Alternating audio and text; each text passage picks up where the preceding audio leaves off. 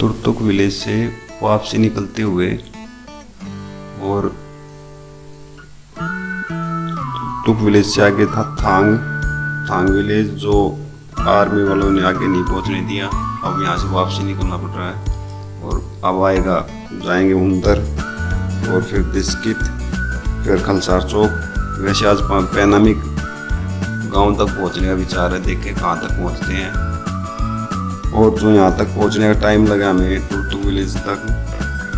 ले से, वो लग गए तकरीबन आठ घंटे। अब आग, अगर आप गाड़ी से आते तो छः घंटे लग जाते बाइक में दो घंटे एक्स्ट्रा लगते हैं। और जो इसकी नुब्रा वैली की यहाँ की हाइट है, वो दस हज़ार फीट है। और ये ले से नॉर्थ में नॉर्थ की तरफ़ है।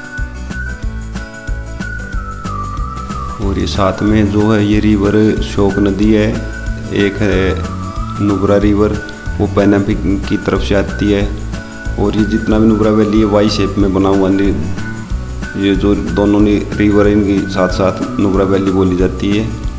यहाँ एक्टिविटी जो है, वो मेन है हुंदर और दीक्षित और तुरतुक विलेज तो आपको, आपने देख लिया। और आगे दिखाते हैं। और पहाड़ों से घिरा सारा का सारा ये बड़ा सुंदर जगह है, देखने लायक। एक बार यहाँ आओगे तो बार बार मन करेगा घूमने का। ना यहाँ ज़्यादा ट्रैफ़िक है, ना और कुछ। साथ में सुंदर झरना। ऊपर पहाड़ों से फिर बर्फ़ पिघल के आती है, बिल्कुल दूध की तरह लगता है।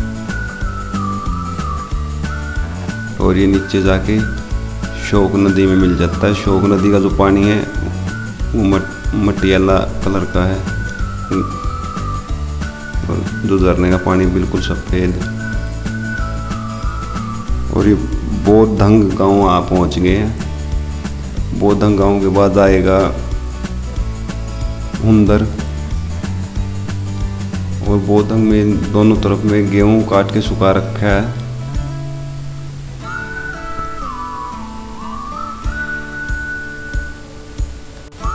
गेहूँ, जो गेहूँ है वो तुर्तुक विलेज में थ्रेसर देखने को मिला था, यहाँ कोई थ्रेसर वगैरह नहीं दिखाई दिया। बौद्धंग गाँव में। ज़्यादातर यहाँ लोग मेहनती बहुत हैं। गेहूँ काटते, सरसों भी थी, वो भी काटने लगे तो खुद काट के सुखा देते हैं इसको फिर।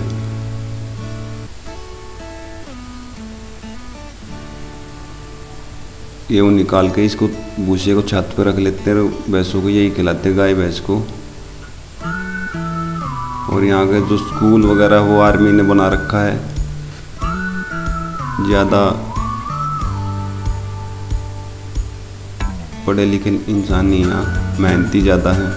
पहाड़ों के खोद के गेहूँ बोना, सरसों लगाना। अभी इनको छः महीने मिले छः महीने में पूरा अपना राशन तैयार कर लेते हैं।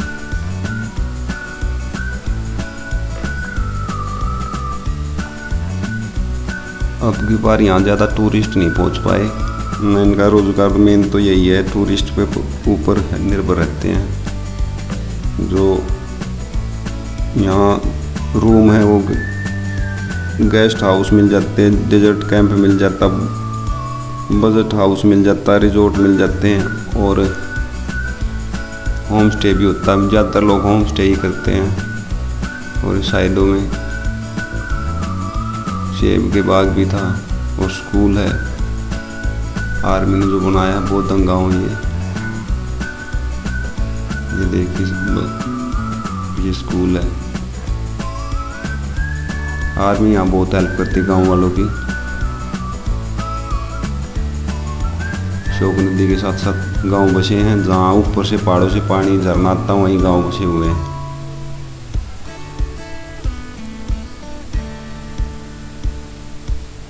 और तुतु विलेज और थांग विलेज से आगे है सियाचिन बॉर्डर पाकिस्तान का। अब जो कानबाई आएगी आर्मी की। वहाँ साइड में लगानी पड़ेगी गाड़ी। बाइक और जो नुब्रा वैली है, यहाँ हुंदर में और खलसार है, जो वहाँ ए राइड कराई जाती है। ए टी वी राइड जो ए टी वी राइड की मैं बता रहा था ए टी वी राइड है जो उसके पंद्रह मिनट की होती है और उसका चार्ज है जो उसका बारह सौ रुपये लेते हैं पंद्रह मिनट की ये अंदर में।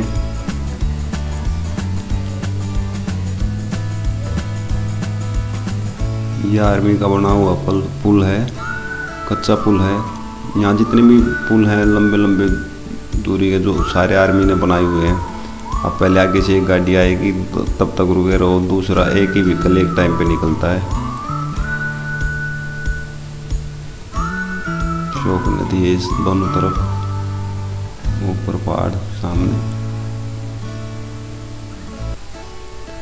अब अंदर पहुँच गए हम।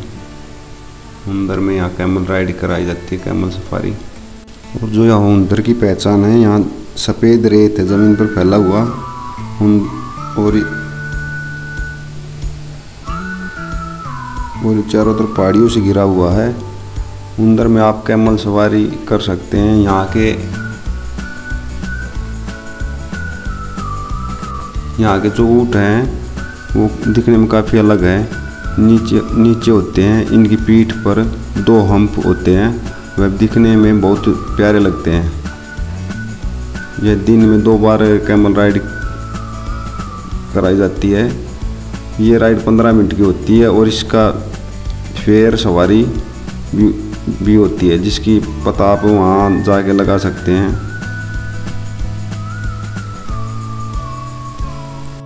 और जो ये टीवी राइड है ये टीवी राइड बताई थी मैंने आपको। ये भी पंद्रह मिनट की कराई जाती है और इसका जो चार्ज है वो बारह सौ रुपये फ़ीस है और कल सार में पंद्रह सौ रुपये फ़ीस है। दिखने में बड़ा सुंदर है, अंदर का ये, यहाँ।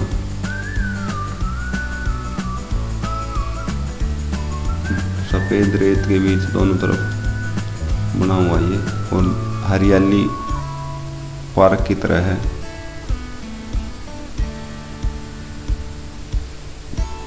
ए टी राइड का जो है मेन या तो खुद भी कर सकते हो, कपल हो।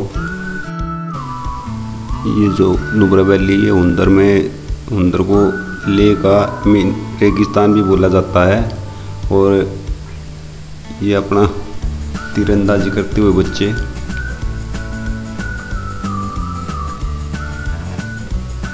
तकरीब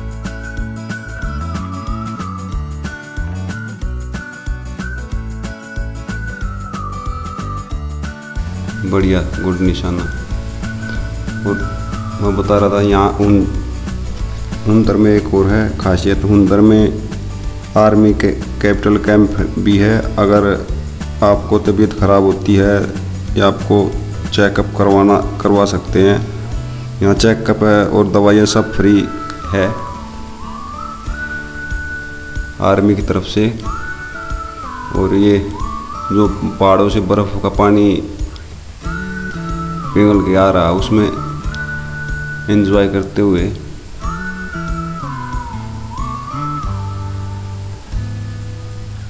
ये अपने हरियाणा के लोग हैं आगे बच्चे हैं, वो स्नान कर रहे हैं। फुल एक्टिविटी है। नुब्रा वैली में ये सब उन्दर दीक्षित है जो ये मेन यहाँ रेतीला एरिया है राजस्थान की तरह। और नदी बन, बना रखी है। पहाड़ों से पानी जो फिसल के आ रहा है। और जो साइड में राइट साइड में है यहाँ तुक तुक की तरफ़ चला जाता है और लेफ़्ट साइड में दिस्कित की तरफ़ चला जाता है। और राइट साइड में हम थोड़ा पीछे जाते हैं, वहीं हॉस्पिटल भी आर्मी का। कभी यहाँ आओ तो तबीयत ख़राब हो जाए तो अंदर में ही है। और जो यहाँ पेट्रोल पंप है, तुरतुक से यहाँ यहाँ तक, खल एक एक तो खलसार चौक पे है और दूसरा दिस्कित में है। तकरीबन तुरतुक विलेज सौ किलोमीटर पड़ता है, अस्सी अस्सी, नब्बे पड़ता है वहाँ तक। लोग तेल बाइक से या कैन से लेके जाते हैं एक्स्ट्रा। और ये हम दिस्कित मोनिस्ट्री पहुँच गए हैं, मेन गेट ही उनका। एक बोधा की प्रतिमा भी है, पहले वो देखेंगे, फिर मोनिस्ट्री जाएँगे। यहाँ से राइट साइड जाएँगे तो मोनेस्ट्री है और हम सीधे निकलेंगे मैं मैत्री बोधा प्रतिभा है। वो देखेंगे ऊपर जाके।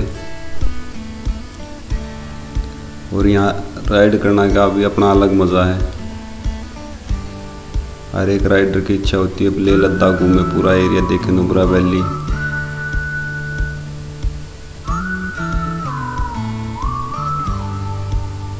हम पहुँच गए हैं। मैत्री बोधा की प्रतिमाएँ और उसके नीचे देखेंगे नुब्रा वैली पूरी दिखाई पड़ती है। रेगिस्तान है पूरा, लेह लद्दाख का।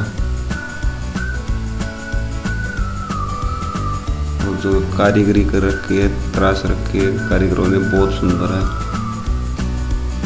अपने मंदिरों में जैसे होती वैसे ही चारों तरफ़ में पहाड़ों से घिरा हुआ नुब्रा वैली ऊँचे ऊँचे पहाड़।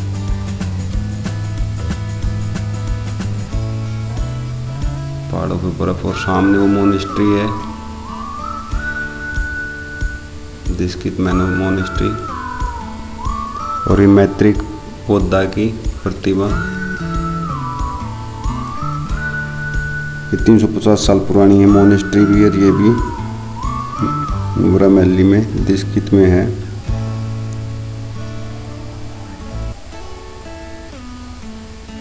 सामने मोनेस्ट्री विनय बोल रहा, अभी टाइम नहीं है मोनेस्ट्री देखने का, फिर कभी आएँगे जब देखेंगे। अब पैनामिक पहुँचते पहुँचते शाम हो जाएगी। और नीचे डिस्ट्रिक विलेज की हरियाली दिखाई देते हुए और सामने रेगिस्तान।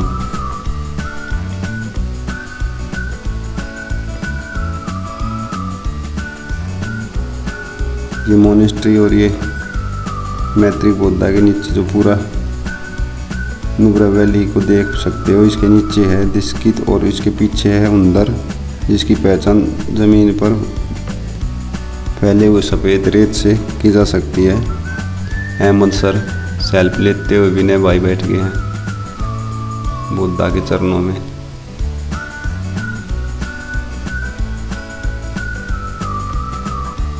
जैसे हमारे मंदिरों में घंटी बजाना शुभ माना जाता है, वैसे यहाँ ये बैल घुमाने से शुभ माना जाता है अहमद सर और विनय आगे घुमाते हुए। अलग ही एक्सपीरियंस मिला ये भी करने से। अहमद सर थक गए हैं और विनय ने पूरा एक राउंड लगा लिया है। साथ में हमारा भी एक राउंड पूरा हो गया बैल का। यहाँ जो बुद्धिस्ट लोगों को बोले शुभ माना जाता है, इसलिए ग्राउंड लगाया। और ये नीचे देख सकते हैं आप पूरा सुंदर नज़ारा। ऊपर ड्रोन दिखाई दे रहा था। यहाँ गाय कम ही दिखाई देती है। गाय भैंस, मेन यहाँ याक ज़्यादा रखते हैं।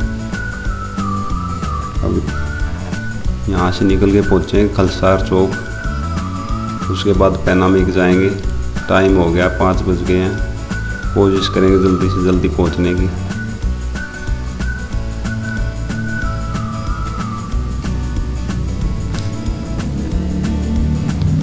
ये गोम्पा है, साइड में कलसार चौक पे बना रखे हैं।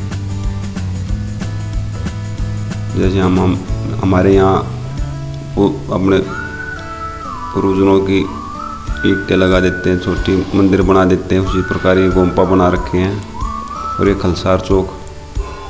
इसके हम लेफ़्ट साइड से ले जाएँगे तो पहुँच जाएँगे तुरतुक विलेज, हुंदर डिस्ट्रिक्ट।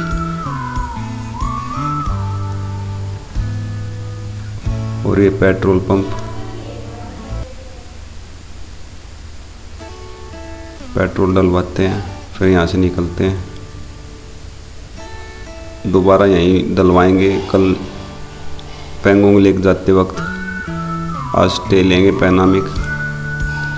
अब ये राइट साइड में पहुँच जाते सीधा तुर्तु विलेज और हुंदर डिस्कित की तरफ़ और लेफ़्ट साइड में अब यहाँ से जाएँगे तो पहुँचेंगे।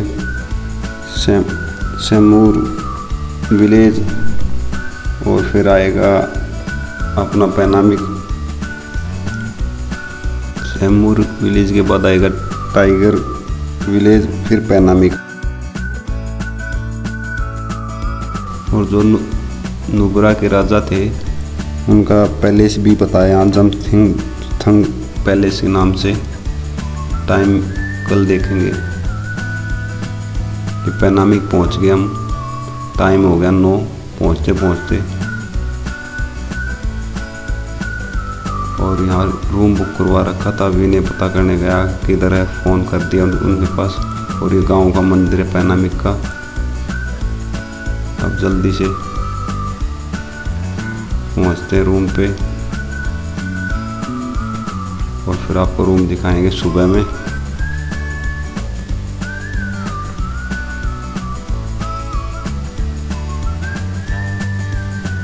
मॉर्निंग हो गई है हमारा सुबह का। रूम में कुछ ऐसा नज़ारा है। सामान बिखरा पड़ा सारा रात में लेट आए पहुँचे थे। यहाँ दो रूम लेने पड़े और रूम जो अपने पुराने घरों में जैसे फट्टी के छोटी ईटों का, फट्टी का मकान होते उस तरह लकड़ी का दे रखी पूरी छत। और जो दीवार है, इसकी दीवार भी बहुत मोटी है। कम से कम सत्रह अठारह इंच की होगी। और सामने जो इसका व्यू है। वो मैं आपको बाहर से दिखाता हूँ। होम स्टे ये। होम स्टे लिया था हमने पैनामिक में। विनय बुर्स कर रहा है। अहमद सर अभी उठे नहीं है। ये इनका पार्क है। एक चीज़ और यहाँ देखने को मिली। हर मकान में पार्क है और जो सेब के पेड़ तो हर एक हर गाँव में, हर मकान में है ही। बाग भी हैं। और सेब भी बहुत सारे लगे हुए एक पेड़ पे। छोटे छोटे पेड़ हैं। ज़्यादा बड़े पेड़ भी नहीं हैं। और टाइम हुआ सुबह पाँच बजे हैं। सूर्य देव अभी पहाड़ों पे प्रकट हुए हैं। और गुलाब के फूल सुंदर वाइट भी हैं।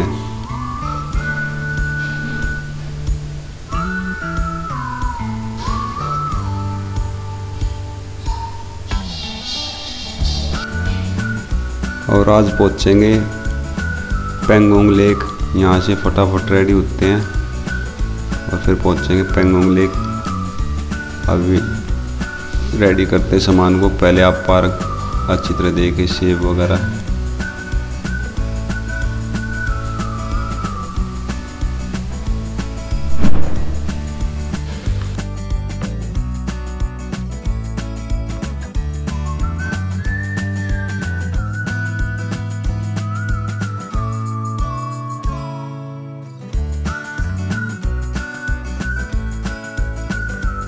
अब ये शेप तैयार होते होते दो महीने और लग जाएँगे, आज जो पता किया। अभी छोटा साइज़ है और खटास है शेप में मिठास नहीं आई है। तकरीबन दो महीने बाद मिठास आ जाएगी बर्फ़ गिर जाएगी यहाँ दो तीन महीने में। गुलाब के फूल और ये जो गुलाब की बेल पहली बार देखी सेब का पेड़ और गुलाब की बेल।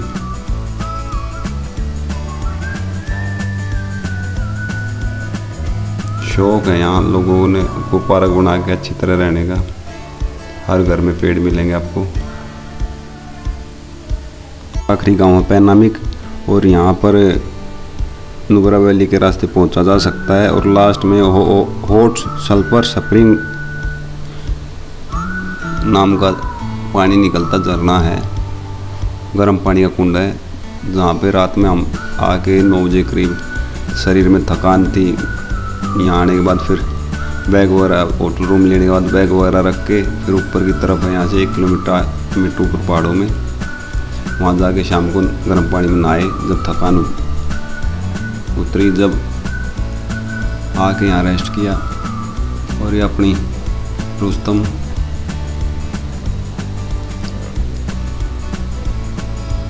चैन लुब्रिकेंट वगैरह सब ओके कर दिया है। अब यहाँ से निकलने की तैयारी करते हैं। और कभी भी आओ पैनामी तो गर्म पानी जो हॉट सल्फ़र स्प्रिंग के नाम से जाना जाता है, वहाँ तक स्नान ज़रूर करके जाना। यहाँ आने का मेन मकसद वही था।